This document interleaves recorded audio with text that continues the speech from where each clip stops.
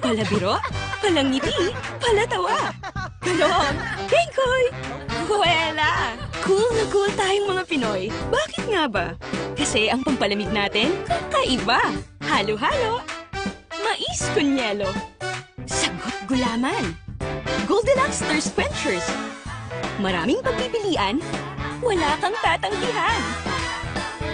Basta cakes and Pinoy favorites, late ka na sa Goldilocks.